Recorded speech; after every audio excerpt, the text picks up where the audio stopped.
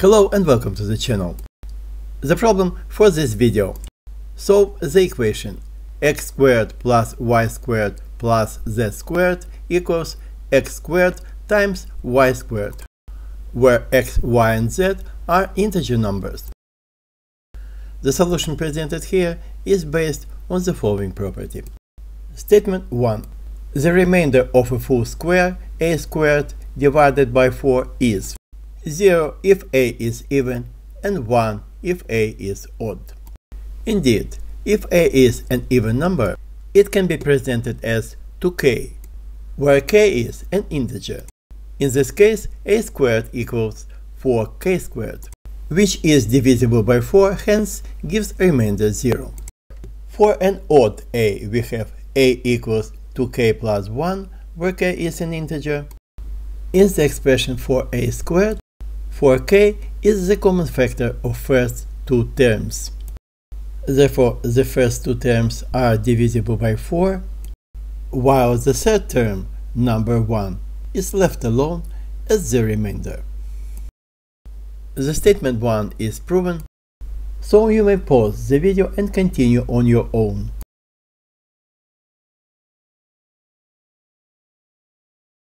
Let's agree that during this video the remainder is always obtained from division by 4, or modulo 4 for short, in which case I will not need to repeat that all the time.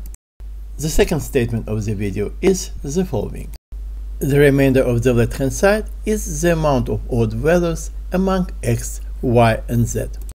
For example, if x, y and z are all even, the remainder of the left-hand side is 0. In case one value out of x, y and z is odd, the remainder is 1. Whereas if x, y and z are all odd, the remainder of the left-hand side is 3. To prove the statement, we just observe that according to statement 1, each odd value adds 1 to the remainder, while each even value leaves the remainder unchanged. And the last thing to point out is that there are only three terms in the left-hand side. Therefore, the remainder value will never reach 4, so it cannot roll back to 0. Now the statement 2 is also proven, and you have another chance to continue on your own.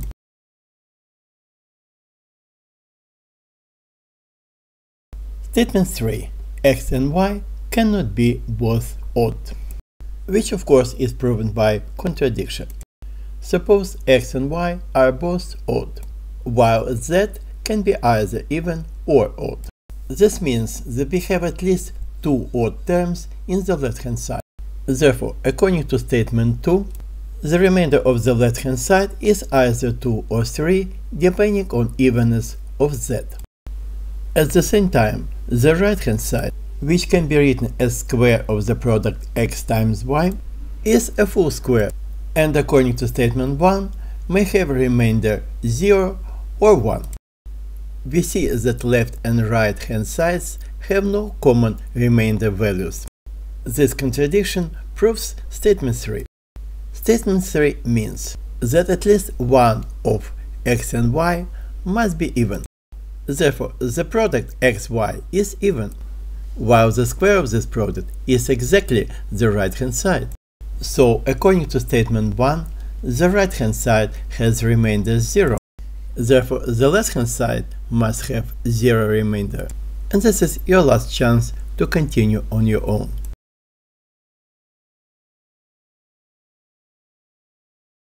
Look at the statement 2. According to it, 0 remainder of the left hand side means no odd values among x, y and z. In other words, x, y, and z are all even, which is statement number 4. So we can write x equals 2 times x1, y equals 2 times y1, z equals 2 times z1, where x1, y1, and z1 are all integers. And we substitute the expressions for x, y, and z into the given equation. The obtained equation can be reduced by 4 and we get an equation very similar to the original one.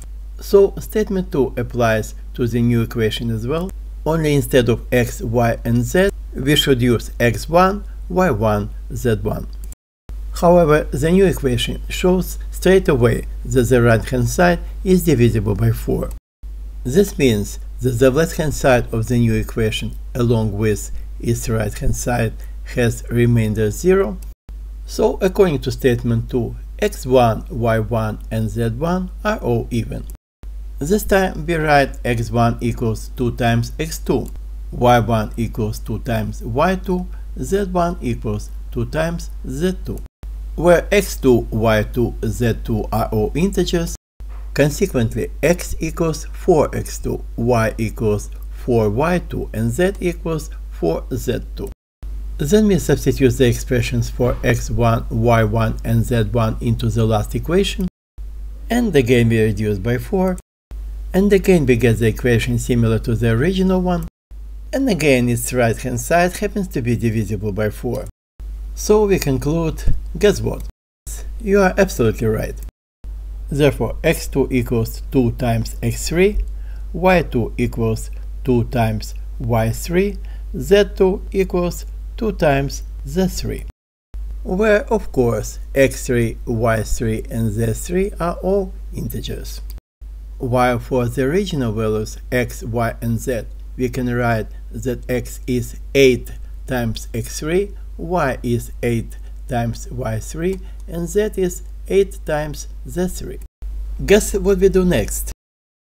Precisely, we realize that the process can be repeated infinite number of times while each iteration of the process increments the power of 2 in the factor for x, y, and z.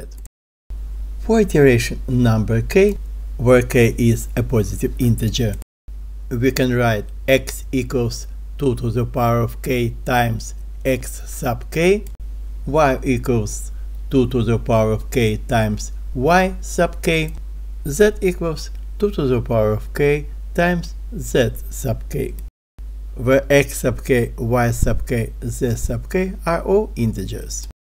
In other words, x, y, and z are all divisible by 2 to the power of k for any positive integer k.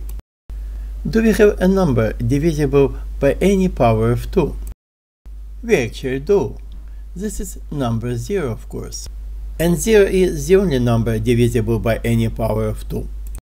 This means that x, y, and z must all be equal to 0. Indeed, zero values of x, y, and z provide the solution of the equation, which was obvious from the very beginning. What wasn't obvious is that this is the only solution, as that's what the whole video was about, and this is the end.